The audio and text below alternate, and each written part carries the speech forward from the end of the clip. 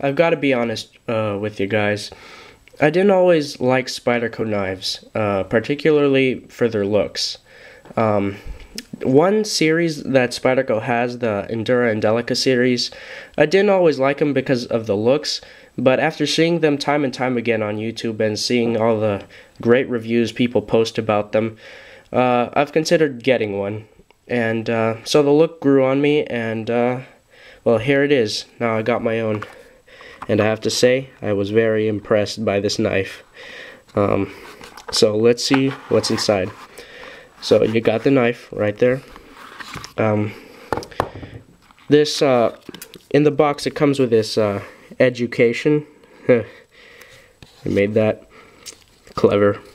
Um, just for the sake of this review I'm not gonna read this uh, you know this whole pamphlet thing right here but if you want to read it, then go to uh, spyderco.com and then just search up the, you know, Endura 4 FFG. And uh, you can, you know, what you'll find on, in the description is pretty much the same like this. So, and the box comes with a nice foam padding, you know, to protect the knife. So enough with that.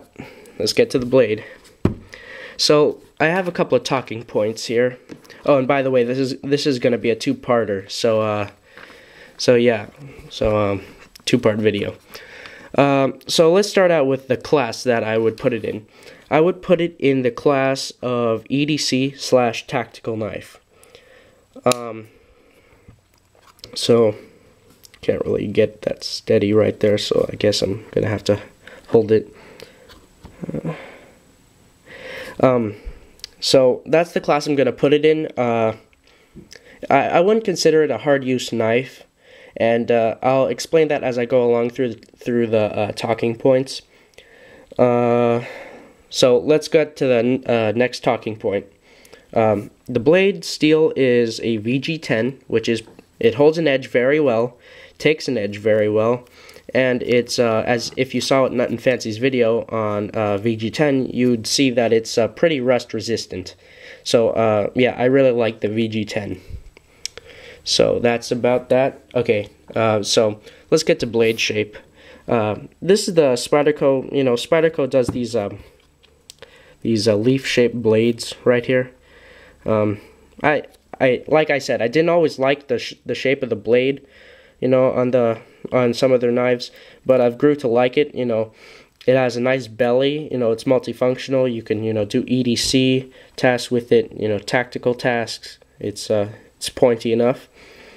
It's full flat ground, so you know it slices good. You know, slashes good, and uh, it has this nice thumb hole right here for a good opening.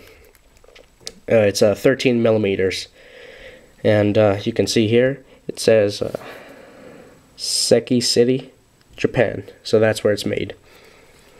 Next talking point uh, handle material.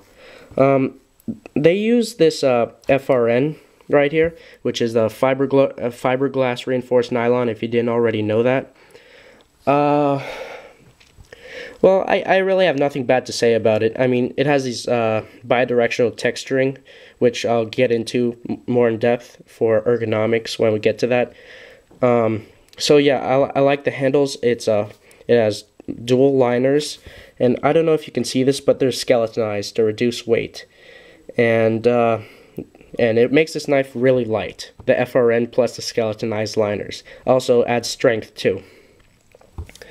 Uh, so let's get to ergonomics. Um, what I've realized about Spyderco knives is that uh, the, their uh, FRN handled knives have really great ergonomics. You know, it says on the back on the box. Um, let's get this.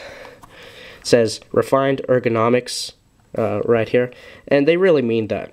Uh, hold on. Uh, end of part one. I'm gonna start part two. See ya.